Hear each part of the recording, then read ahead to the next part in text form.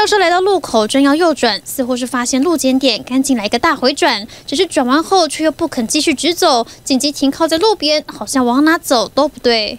第一时间，驾驶有些慌张，还想躲进一旁的超商。十二号晚上九点多，他开车行经桃园富国路和南竹路口，他在十字路口不断绕来绕去，诡异行径早就被远警盯上。一查发现，酒测值高达零点三三。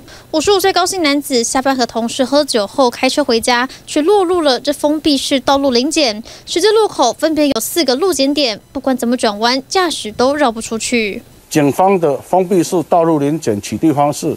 系连接各重要道路路口，使之各自形成封闭状态。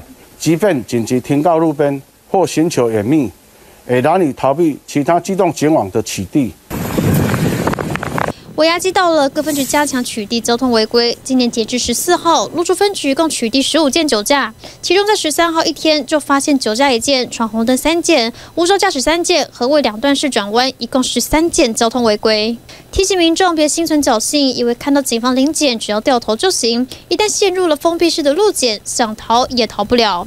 TV 的新闻林志伟、王华、林家曼讨厌报道。想扩大国际视野，掌握趋势，请订阅专门报道国际新闻的 YouTube 频道 TVBS 国际 Plus，记得要开启小铃铛哦。